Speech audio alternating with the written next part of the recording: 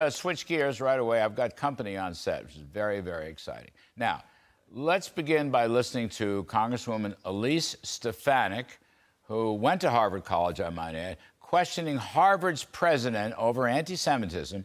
Um, I think this was yesterday or the day before. Take a listen.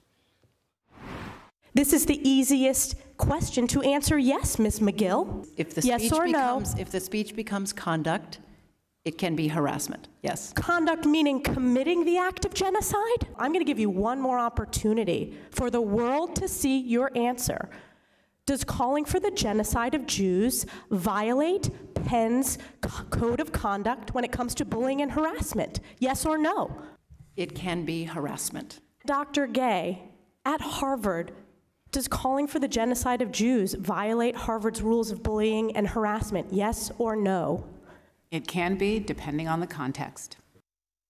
Oh, these people have now gone, they've tried to walk it back a little bit, uh, a, tiny bit. I mean, they've gone from pathetic, this was two days ago, good for Elise Stefanik, our pal, uh, to just being mealy mouth, okay? Not one of them, MIT, Penn, Harvard, not one of them deserves to be a college president much less the president of a prestigious school, which they are ruining. Anyway, let's talk a little bit about that. Liz Peek, syndicated columnist, Fox News contributor, Deroy Murdock, senior fellow, uh, the American Spectator, Fox News contributor, and contributor to the Daily uh, Caller. Um, I actually the one I went to is, was not part of this.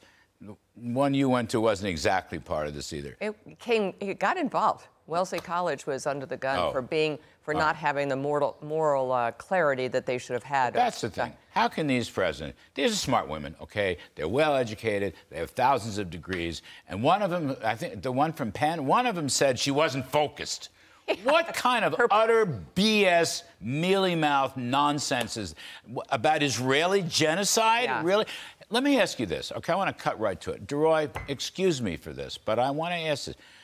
The woman from Harvard, African American, black, okay, fine. My question is if you were talking about a black genocide. Yep. And, Yep. that, and that's Yep, what Elise exactly right. Stefanik asked her. That's it. Oh, she "Can- did? I Are you allowed to walk around your campus calling for the murder of blacks? Do you course think would she would have? be. Do, she, do you think she would have Yeah, said, if- "I'm looking for context"? Right. Yeah. If somebody said exactly, you know, do you, uh, is, is lynching blacks evil? Well, it depends, and you need Yeah, to the compare it to this. I don't know. No, the answer is yes, it's evil. And advocating the genocide of Jews is evil. It's a very easy question. My question is, who do they think they might offend if they spoke that clearly? They think, oh, if we say that, we might get some They're people angry. students, my Maybe dear. that, well, They're then they, they need to show mm-hmm. some gr- adult supervision and leadership and say, folks, this is Right. evil. Boys and girls, this is evil. Follow us or follow our adult lead on this. If these little boys and girls need that kind of It's, moral it's guidance. pretty pathetic because who they have insulted is all their donors, and that is costing them big time. Good, I hope. good. I hope they learn a lesson here. I mean, again, there is no question that there was no moral clarity in what these people had to say, and they kept falling back on we really embrace freedom of speech. No, you don't.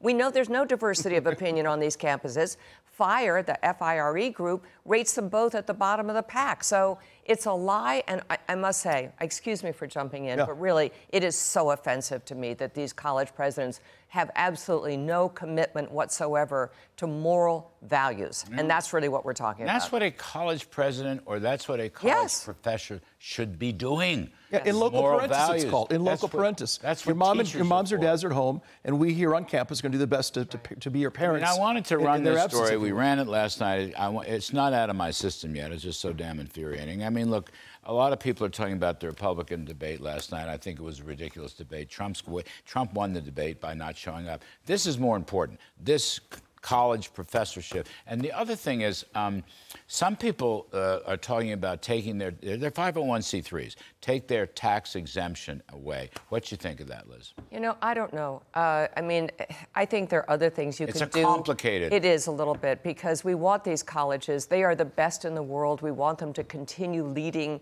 uh, intellectual uh, rigor around the world, et cetera. So I, I, I applaud them. I do want people to support them.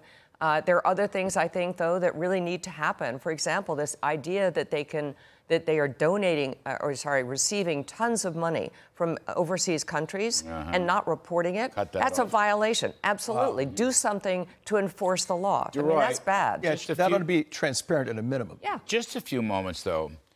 These elitist, expensive uh, prestigious colleges on the two coasts. I'm not hearing this kind of talk or these kinds of demonstrations at Ohio State. I'm not hearing it from LSU.